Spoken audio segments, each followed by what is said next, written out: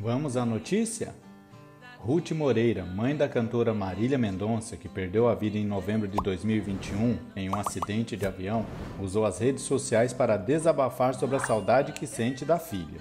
Abre aspas. Eu não sabia que doía tanto. Uma mesa num canto, uma casa e um jardim. Se eu soubesse o quanto dói a vida, essa dor tão doída não doía assim.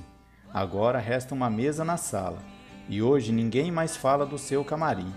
Naquela mesa está faltando ela, e a saudade dela está doendo em mim. Fecha aspas, escreveu Ruth. Recentemente, o cantor Murilo, pai do filho de Marília, abriu mão da tutela de bens da sertaneja e deixou para que a mãe dela administre a herança do pequeno.